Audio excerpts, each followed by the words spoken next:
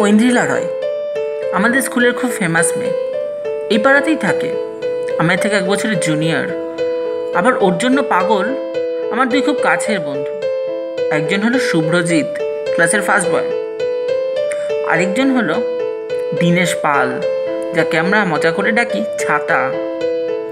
তবে ওদের এই পাগলামো নিয়ে আমার কোনো মাথা ব্যথা হতো না। যদি না আমার পরীক্ষায় পাশ করা নিয়ে টানাটানি পড়ে যেত। তখনই আমাকে দ্বারস্থ হতে হলো আরও দুই বন্ধুর, বারুদ, বাণী আর রুদ্রাণী। আর হলাম আমি, অভিষেক। আর আমার সেই কুখ্যাত প্ল্যান প্ল্যান চেক